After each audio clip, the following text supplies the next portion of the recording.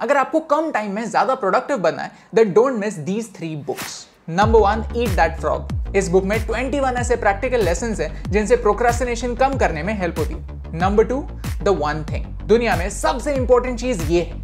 ये ये एक नंबर वन हम एक टाइम पर, एक ही काम पर एक्टिवली फोकस कर सकते हैं। तो हर एवेन्यू में एक ऐसा काम चूज़ करो और उसी पर फोकस करो। लेकिन ये कहना आसान है, करते कैसे ये बुक इसी प्रोसेस को सिंप्लीफाई करता है। Number three deep work distraction हर जगह तो उनसे बचकर काम पर फोकस कैसे करें? डीप वर्क हमें फोकस जोन में जाकर काम करने के सीक्रेट्स बताता है। So get these books and make good use of your time all the best